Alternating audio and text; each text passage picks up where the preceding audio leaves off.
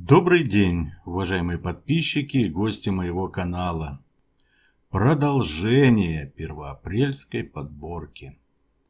1 апреля это действительно день не для слабонервных.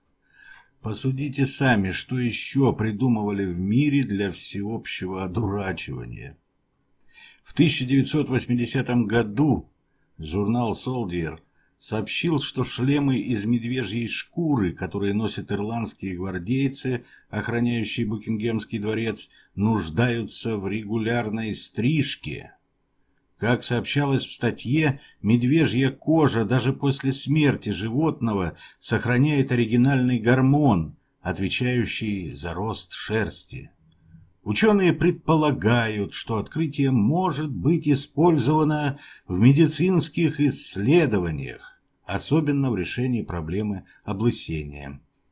Статья цитирует слова майора Урса, Урса по латыни «медведь», который отметил, что шерсть начинает расти весной, после того, как обычные медведи просыпаются после зимней спячки.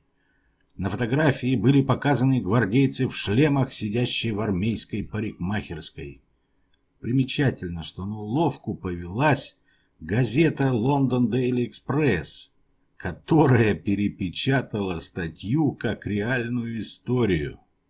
В 1980 году телекомпании BBC было объявлено о замене механических часов знаменитого Биг Бена на электронные.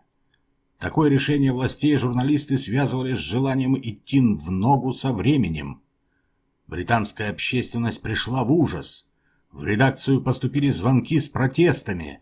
Такое действие было расценено как посягательство на святыню. Однако в числе звонивших были и те, кто не прочь был бы приобрести части легендарного Биг Бена. Японская служба BBC сообщила, что стрелки часов будут проданы первым четырем позвонившим слушателям. 1978 году, какого числа понятно, в гавани города Сиднея, что в Австралии, появилась баржа, которая волочила на буксире средних размеров айсберг. Об этом событии было известно заранее. Дик Смит, миллионер и авантюрист, давно раструбил о своем намерении привезти из Антарктиды ледяное чудо, чтобы затем напилить из него кубиков и продавать австралийскому народу по 10 центов за штуку. Ну, все-таки чистейший продукт. Можно, например, в напитки класть, как делали, говорят, пассажиры «Титаника» сразу после столкновения, но до того, как он начал тонуть. Кроме рядовых любителей антарктической экзотики, на пристани присутствовали представители масс-медиа, готовые освещать распил и последующую распродажу.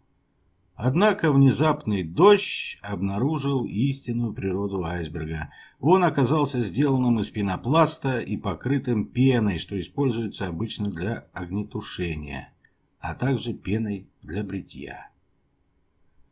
Если вы думаете, что это уже все, зря. Скоро еще ролик выйдет. Обхохочетесь.